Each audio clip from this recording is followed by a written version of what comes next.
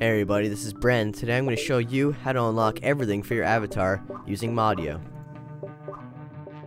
The first thing you have to do is get your avatar data file off of your hard drive or memory card. To do this, open up Explorer 360, then go to Drive, Open, Hard Drive or Mem card.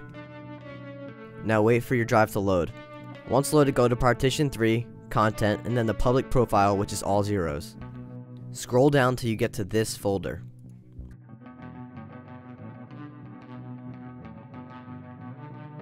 Then go to the last folder in there. Now you'll see a file called avatar data. Just extract that. Close or minimize Explorer 360 and then open up Modio. Go to Tools, Utilities, and then Avatar Unlocker.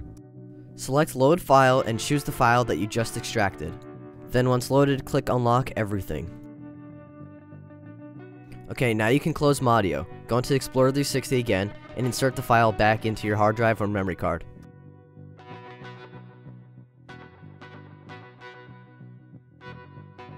Okay, now it's time to go on Xbox and create a new avatar. Once you get into Xbox, make sure you do not sign into Xbox Live. Signing into Xbox Live will make your mods go away and you will not have the new clothes or accessories.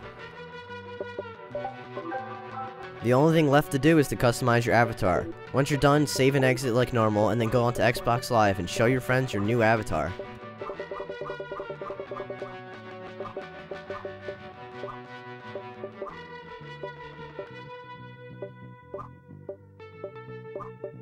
What?